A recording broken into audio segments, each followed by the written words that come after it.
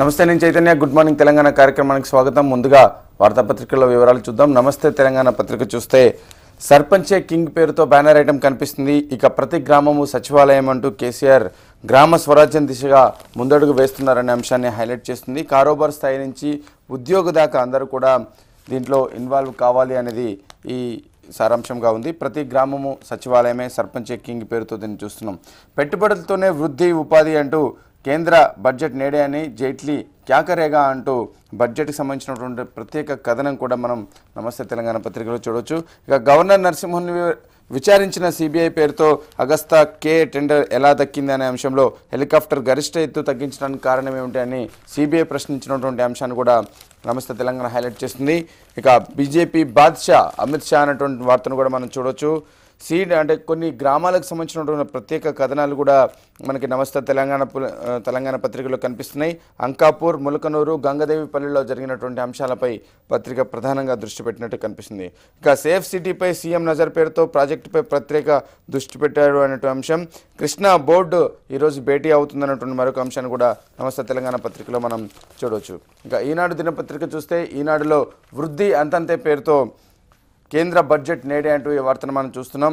బచావత్ బ్రిజేష్ ట్రిబ్యునల్లో తీవ్ర అన్యాయం జరిగింది. కృష్ణా జలాల పంపిణీపై తాజా వాదనలు వినాల్సిందేనని కొత్త ట్రిబ్యునల్లో నాలుగు రాష్ట్రాలను భాగస్వామ్యం చేయాలని కేంద్ర జల వనరుల మంత్రిత్వ శాఖకు తెలంగాణ ప్రభుత్వ లేఖ అంటూ తీవ్ర అన్యాయం జరిగింది.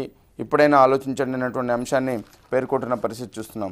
ఇక అదే నమూనాలు సకాలంలో పేరుతో మెట్రో ప్రాజెక్టుపై తెలంగాణ ప్రభుత్వానికి కేంద్ర ఆర్థిక కార్యదర్శి లేఖ రాశారు. వివిధ మంత్రిత్వ శాఖలకు లక్ష్యాల నిర్దేశం చేశారనే అంశాన్ని కూడా మనం చూడవచ్చు గవర్నర్ను ప్రశ్నించిన సిబిఐ అధికారులు సాక్షిగా వాంగ్మూలం నమోదు చేశారన్నటువంటి అంశాన్ని కూడా మనం ఈనాడులో చూడవచ్చు ఆల్మట్టి మరింత ఎత్తుకు పెరగబోతున్న అంశం స్థానికతకు చట్టాలే ప్రామాణికం కావాలి హైదరాబాద్ బ్రాండ్ దెబ్బతింటే తెలంగాణకి నష్టమని కలహంతో కాకుండా అభివృద్ధిలో పోటీ పడాలని చంద్రబాబు వ్యాఖ్యానిస్తున్నటువంటి సందర్భాన్ని కూడా ఈనాడు హైలైట్ చేస్తుంది. ఇక కార్యాధ్యక్షుడికే కమలపీఠం పేరుతో భాజపా అధ్యక్షుడిగా అమిత్ షా నియామక నియామకం జరిగినటువంటి అంశాన్ని హైలైట్ చేస్తుంది. మరోపక్క జగతిలోనే సురక్షిత నగరంగా హైదరాబాద్ను తీర్చిదిద్దబోతున్నారంటూ ముఖ్యమంత్రి కేసీఆర్ పిలుపునిచ్చారు. భద్రత వ్యవస్థ రూపకల్పనకు ప్రత్యేక సమావేశం ఏర్పాటు చేశారనే అంశాన్ని కూడా ఈనాడు హైలైట్ చేస్తుంది. ఇంకా ఆంధ్రజ్యోతి దినపత్రిక చూస్తే బీజేపీకి బాద్షా బాద్షానే అంటూ అమిత్ షా అంటూ ఈ వార్తను చూస్తున్నాం. కమల సారథిగా మోదీ ఆత్మబంధువు ఎం- ఎంపికయ్యారు. అధ్యక్షునిగా ఏకగ్రీవ ఎన్నిక ఆమోదించిన పార్లమెంటరీ బోర్డు. ప్రధాని అడ్వానీ శుభాకాంక్షలు తెలిపారు. పార్టీపై బిగుస్తున్న గుజరాత్ పట్టు పేరుతో ఈ వార్తను మనం చూస్తున్నాం. పదండి ముందుకంటూ మరింత వేగంగా సంస్కరణలకు సర్కారుకు ఆర్థిక సర్వే స్పష్టీకరణ నేడే మోదీ సర్కారు తొలి బడ్జెట్ పేరుతో వ్యవస్థలను గాడిలో పెట్టాలి నిర్ణయాల్లో వేగం పెరగాలి సబ్సిడీ భారంపై హెచ్చరిక బడ్జెట్లో సర్కారుకు కఠిన వైఖరి ఉండబోతుంది ఉద్యోగులకు ఊరట లభించేనటువంటి క్వశ్చన్ మార్కు సాగుకు సాయకం సాయం ఎంత అందేను అంటూ అనే అంశాలపై ఒక ప్రత్యేక కథనాన్ని ఆంధ్రజ్యోతి దినపత్రికలో చూడొచ్చు.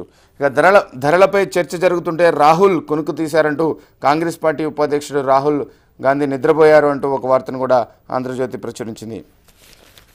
వీటితో పాటుగా అగస్తాలో అంతర్యం ఏంటి అంటూ ఎత్తు తగ్గింపు నిర్ణయంపై ఒత్తిళ్ళున్నాయా మీరేమైనా అభ్యంతరాలు వ్యక్తం చేశారని గవర్నర్ను గంటన్నర ప్రశ్నించిన సిబిఐ పేరుతో అగస్తాలో అంతర్యం ఏంటి అంటూ గవర్నర్ ప్రశ్నించిన అంశం కూడా కనిపిస్తుంది.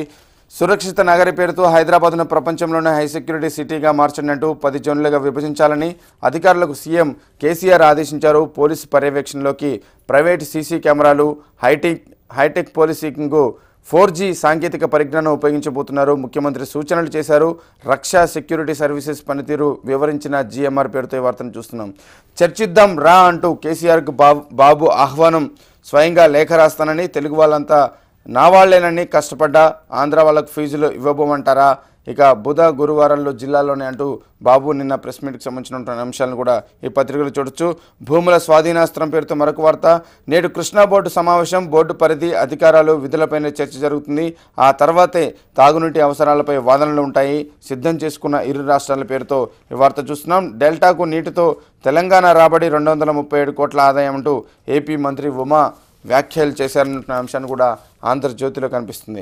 ఇక సాక్షి దినపత్రిక చూస్తే సంస్కరణే కీలకం పేరుతో బడ్జెట్కి సంబంధించినటువంటి అంశం ప్రధానంగా సాక్షి దినపత్రిక హైలైట్ చేస్తుంది.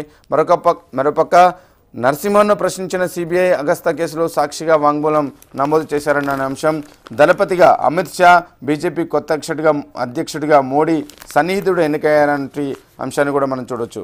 ఇక రుణమాఫీపై రీషెడ్యూల్ రీషెడ్యూల్ బాట పేరుతో చెల్లింపు భారం తగ్గించుకునే యోచనలో టీ కారు ఉంది. గత ఏడాది కరువు తుఫాను పీడిత మండలాల్లోనే రైతు రుణాలపై దృష్టి పెట్టారు. మూడు వందల ఇరవై మూడు మండలాల నిర్ధారణ జరిగింది. సమగ్ర వివరాలతో ఒకటి రెండు రోజుల్లోనే ఆర్బీఐకి నివేదిక ఇవ్వబోతున్నారు. సుమారు డెబ్బై రెండు శాతం రుణాల రీషెడ్యూల్కు అవకాశం లభిస్తుందనే అంశాన్ని చూడవచ్చు రుణమాఫీపై చంద్రబాబు దాటవేత ధోరణ వ్యవహరిస్తున్నారంటూ ఏపీ ఆర్థిక పరిస్థితిపై శ్వేతపత్రం విడుదల అందుకేనంటూ విమర్శిస్తున్నటువంటి అంశాన్ని కూడా మనం చూడవచ్చు. ఇంకా పేదల బస్తీలకు ఫిల్టర్ వాటర్ పేరుతో నాలుగు రూపాయలకే ఇరవై లీటర్లు నాలుగు వందల నీటి శుద్ధి కేంద్రాల ఏర్పాటు యోచన తొలి దశలో అరవై కేంద్రాలు త్వరలో ప్రారంభించనున్న జిహెచ్ఎంసీ పేరుతో ఈ వార్తను మనం చూస్తున్నాం. ఇవి వార్తాపత్రికలో ఉన్నటువంటి వివరాలు. ఇప్పుడు చిన్న బ్రేక్ తీసుకుందాం. బ్రేక్ తర్వాత వీటిపై చర్చ కొనసాగుతుంది. చూస్తూనే ఉండండి. TV one.